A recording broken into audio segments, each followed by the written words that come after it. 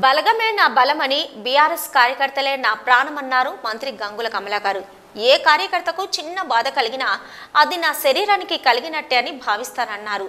కరీంనగర్లోని మంత్రి గారి మీ సేవా కార్యాలయంలో మంత్రి గంగుల సమక్షంలో కాంగ్రెస్ బీజేపీలకు చెందిన నాగుల మాల్యాల సర్పంచ్ నాయిని ప్రసాద్ కమన్ మాజీ సర్పంచ్ పోనాల మనోహర్ మల్కాపూర్ మాజీ ఎంపీటీసీ బొమ్మ ఈశ్వర్ గౌడ్ పలువురు వార్డు మెంబర్లు సుమారు రెండు వందల మంది తెరాసలో చేరారు. వారికి మంత్రి గంగుల కమలాకర్ గులాబీ కండువా కప్పి పార్టీలోకి సాదరంగా ఆహ్వానించారు.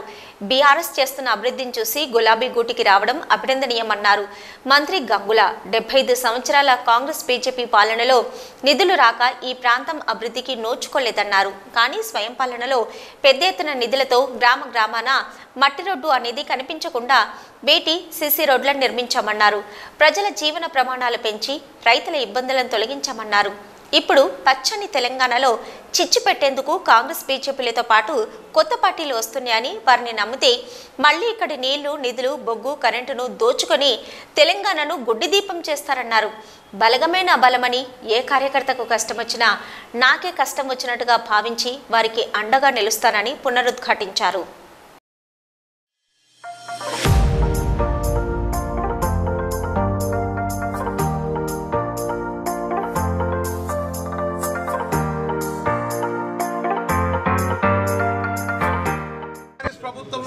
పార్టీలో సీనియర్గా ఉన్న కాంగ్రెస్ పార్టీ సీనియర్గా ఉన్న నాయకులు మాజీ సర్పంచ్ గారు ఈరోజు సర్పంచులు ఎంపీటీ సభ్యులు అందరూ కూడా మన పార్టీలో కలుస్తుండ్రు. ఈరోజు కమాన్పూర్ మురళి గతంలో ఆయన కాంగ్రెస్ పార్టీ పనిచేశాడు సర్పంచ్గా పనిచేశాడు. ఈరోజు రైతు కుటుంబం నుంచి వచ్చే వ్యక్తి టీఆర్ఎస్ పార్టీకి వచ్చినందుకు ఆయన మనస్ఫూర్తిగా టీఆర్ఎస్ పక్షాన్ని స్వాగతం పలుకుతున్నాను. నాగులమల్ల సర్పంచ్ సాబు వారు కూడా బీజేపీ పార్టీలో ఉండే కానీ అభివృద్ధిని ఆకర్షించి. నాయన ప్రసాద్ గారు ఈరోజు తన సర్పంచ్ నాగులమల్ల సర్పంచ్ బీజేపీ పార్టీ ఉన్నా కూడా ఈరోజు మనకు పార్టీలకు ఆహ్వానిస్తున్నాం. వచ్చినందుకు వారితో పాటు చేసిన వార్డు మెంబర్లకు అందరి మనస్ఫూర్తిగా స్వాగతం పలుకున్నాను ఈశ్వర్ గౌడ్ గారు వారు కూడా ఎప్పటి నుంచో కాంగ్రెస్ పార్టీలో పనిచేస్తుండ్రు. ఈరోజు కూడా మా పార్టీకి ఆకర్షితులై మన టీఆర్ఎస్ పార్టీకి వస్తున్నందుకు వారికి కూడా మనం ఆహ్వానం పలుకుతున్నాం. సోదరులారా ఒక్కసారి ఆలోచించుకుందాం. ఈ భూమి కొత్తగా పుట్టలే. టీఆర్ఎస్ పార్టీ రాగానే భూమి పుట్టలే. ఈ రైతులు టీఆర్ఎస్ పార్టీ రాగానే ఈరోజు రైతులు పుట్టలే. భూమి మనం పుట్టక ముందు ఉన్నది ఈ నీళ్ళు మనం పుట్టక ముందున్నది. ఈ కుటుంబాలు మన పుట్టక ఉన్నాయి. మీ గ్రామాలన్నీ కూడా మన పుట్టక ముందు ఉన్నాయి తెలంగాణ రాష్ట్రం రాకముందు కూడా ఈ గ్రామాలు ఇలానే ఉండే రైతులు ఇలానే ఉండే. తెలంగాణ రాష్ట్రం రాకముందు నేను ఎమ్మెల్యేగా ఉన్నా.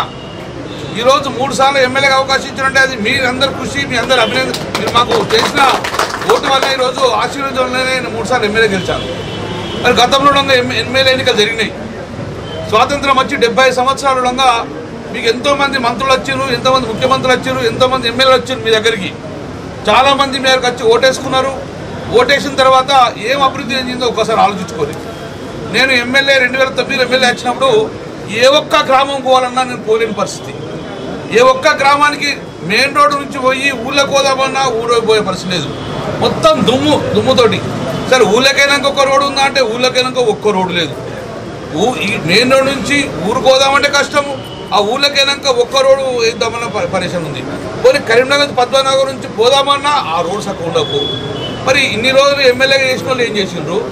ఇన్ని రోజులు ఎంపీగా చేసిన వాళ్ళు ఏం చేసిండ్రు? అసలు మీ గ్రామాలకు వస్తున్నా అని అడిగిన. లేదు సారు ఎన్నికలప్పుడు వస్తారు. ఎన్నికలప్పుడు ఓట్లు వేసుకుంటే మళ్ళీ మాకు కనబడరు మాకు ఐదేళ్ళ కోసం వస్తారు. ఈ గ్రామీణ ప్రాంతాలలో ఒక్క రోడ్ వేయలేదు మాకు నోసుకునే పరిస్థితి లేదన్నాడు నీళ్ళు లేవన్నారు. తాగునీళ్ళు లేదు సాగునీళ్ళు లేదు రైతుల పరిస్థితి నుంచి లేదు నాకు బాధ కలిగించింది. అరే మరి ఇంతమంది ఎమ్మెల్యే గెలిచినాక ఏం చేసినామని చెప్పేసి చాలా బాధ కలిగింది. రెండు వేల తొమ్మిదిలో ఎమ్మెల్యే అయినా కష్టపడ్డా అరే గతంలో లాగా ఎమ్మెల్యేగా పనిచేయకూడదు ప్రజలు నమ్మకంతో ఓటేసిండ్రు.